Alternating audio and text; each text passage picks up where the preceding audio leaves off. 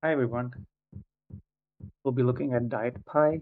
It is a very versatile operating system that's not only built for the Raspberry Pi, as the name suggests, it's also for other single board computers. Um, as a simple interface, and they have a good uh, documentation on the various softwares that it offer. Um, here's just a list of the sample softwares that they have. As you can see, they have quite a few options. Um, but for now, we'll install DietPi in VMware. Let's head over to the download section. Here you can see all the other uh, motherboards or the single board computers that they support, including the Raspberry Pi. We'll head over to the PC virtual machine section. And since we're using VMware, we'll hit that download button right there. Once it finishes downloading, we'll extract it and adjust some settings so that we'll be able to run it more efficient. By default, it comes uh, to use 1 GB of RAM and one processor. Well, definitely will be increased.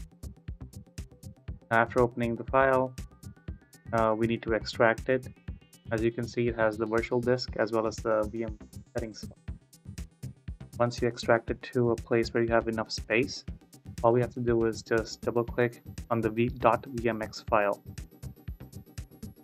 That will open the virtual machine.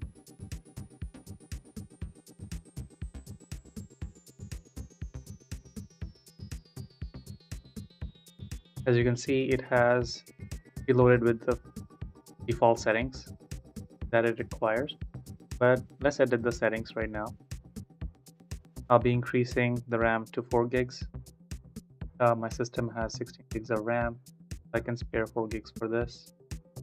And then I'll increase the processors to the default hard disk storage is 8 GB. And I do recommend increasing it if you want to use uh, this virtual for more than just testing and playing around. I'm going to increase it to 16 gigs.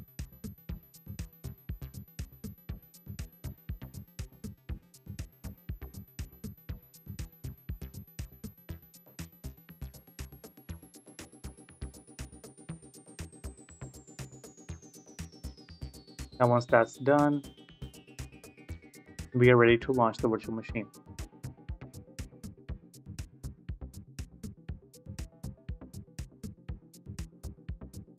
Looks like there has been some error.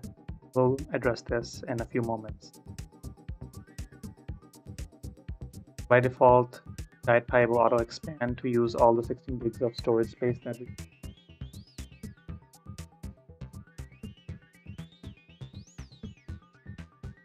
Of note, it is much faster to run on this than it is.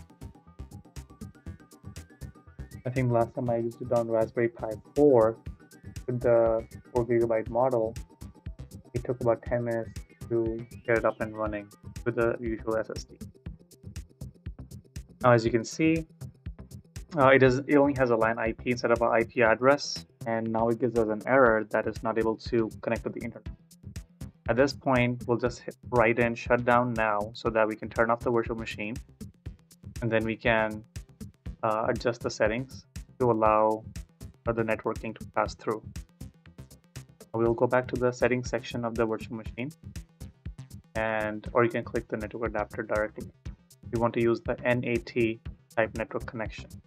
By default it uses the bridge, but now we have to change it to NAT. Let's do that and then relaunch the virtual machine. Now we should connect without any issue.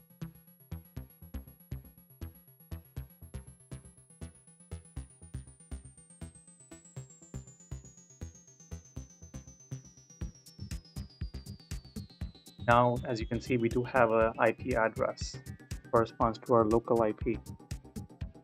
I'm going to use the default login for the diet DietPi, which is the username is root and the password is DietPi.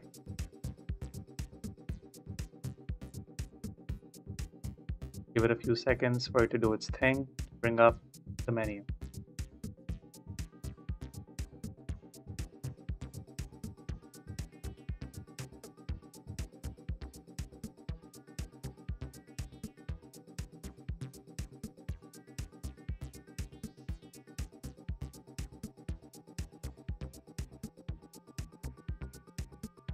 Now we have the option of opting in or opting out of sharing analytical data with the Diet Pi.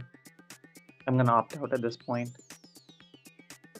By default, I do recommend changing the passwords, but for this testing purpose, I'm going to keep them intact. I'm going to leave the password as Diet Pi.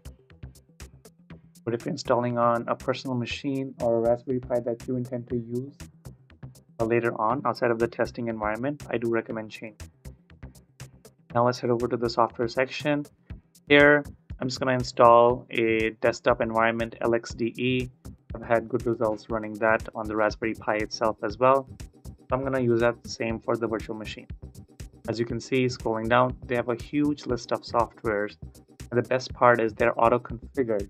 You just need to hit check mark and then install.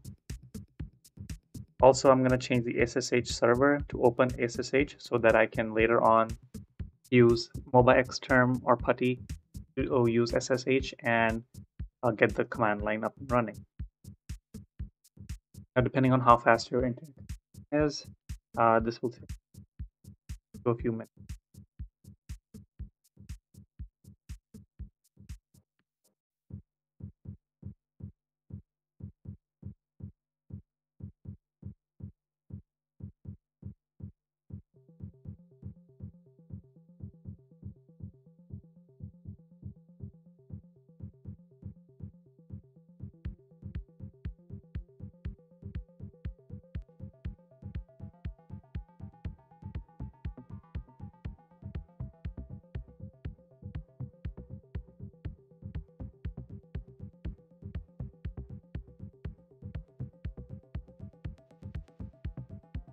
I am letting this run in real time without doing any fast forwarding.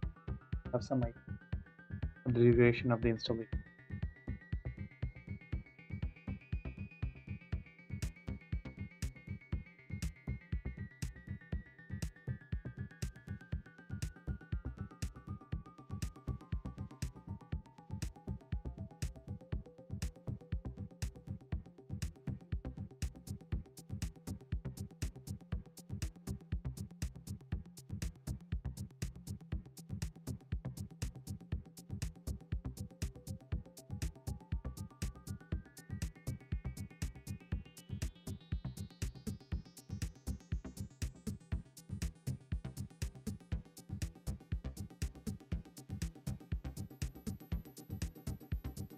While that installs, another benefit of using Pi is that it allows you to back up all your settings without having to turn off the machine itself.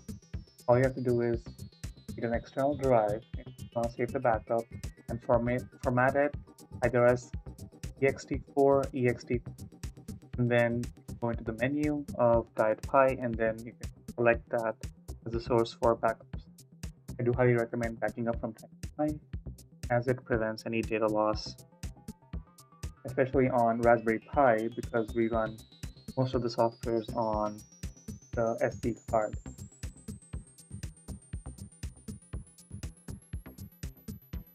We're almost done with the installation. Now it's finishing up with the SSH server. Once it's done installing, we'll do a quick reboot and then we'll adjust it to auto login the desktop environment without us having to manually log in each. We can just enter reboot. This will reboot the virtual machine. As you can see, it works pretty fast because not loading the desktop environment at this time. So we'll enter login root, password that I did not change as diet pi, and then I'll type in diet pi minus sign config. Here we need to scroll down to auto start options. And by default, you can see it's set to option zero, which is the manual login. We're gonna scroll down to option number two. Then now you can select which user you want it to log in as. I'm gonna stick with the root user and we'll hit save and then again.